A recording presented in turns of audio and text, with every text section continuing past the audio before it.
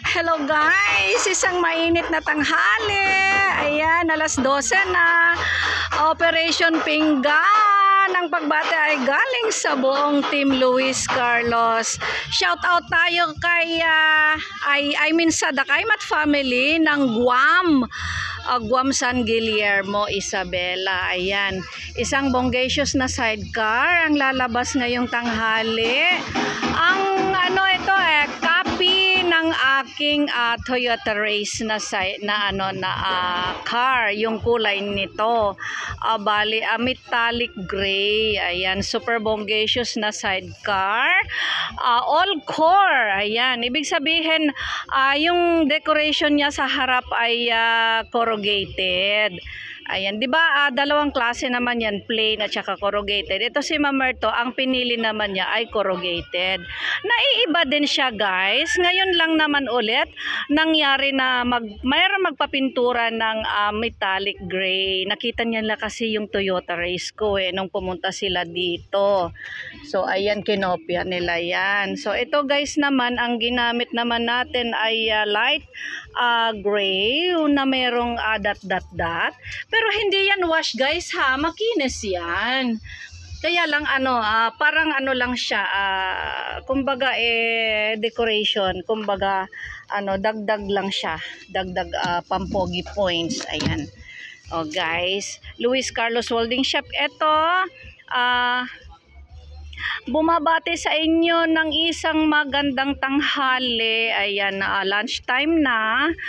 Ah, nandito na nga yung ano, ito, pupunta pa sila ng Luis Carlos ah ah, motor parts para magpa-wirings.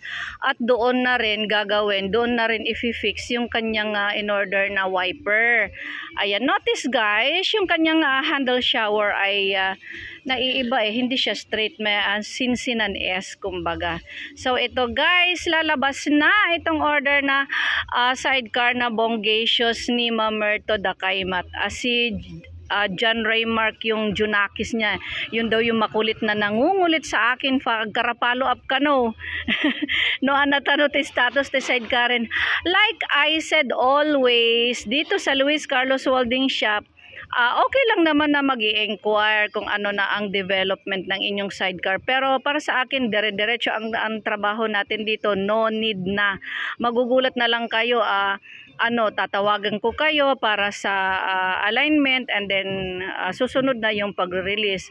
Or kung minsan ah, tumatawag ako yung mga kailangan pang ah, ilalagay, mga anong kulay, anong ilalagay doon sa mga trapal, ganern.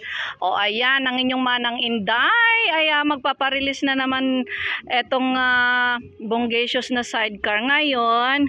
So, kanya yung meet, ah, kung meron kayong ah, plano, okay lang na mag-canvas guys. Pero ah, piliin ninyo yung reliable na welding shop. Ayan. At saka syempre yung magandang tindig naman ah, ah, an aanhin ninyo ang mura. Eh kung mangungonsumisyon naman kayo, mapapamura naman kayo dahil mura nga. Eh.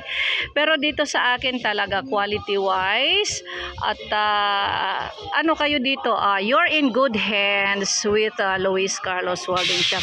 Ito ang inyong manang Inday. Nagpapasalamat sa inyo, Ada Kaymat family. Very, very much thank you mga ading. Bye-bye.